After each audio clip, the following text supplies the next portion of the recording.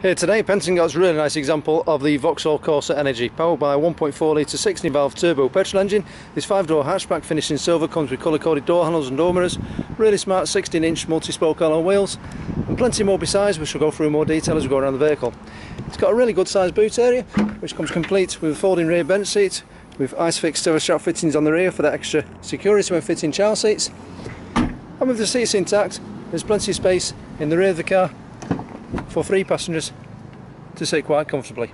Lots of legroom in there as you can see even when the front seats are quite far back. Moving on into the front via the driver's side. There's front electric windows and electric operated door mirrors, automatic headlamp control which can be manually overridden, a heated at level multifunction steering wheel with full audio controls and Bluetooth device connectivity as well as cruise control and speed limitation. And the in-car entertainment is provided by a touchscreen DAB radio which also features AM and FM stations as well as MirrorLink via Android Auto or Apple CarPlay, full Bluetooth device connectivity and USB device connection. There's air conditioning linked to a 4-speed interior heat fan, heated front windscreen, 6-speed manual transmission and very comfortable seats in the front for both driver and passenger. Both seats, as with the steering wheel, have the option of being heated. The driver's seat also has height adjustment for additional comfort setting.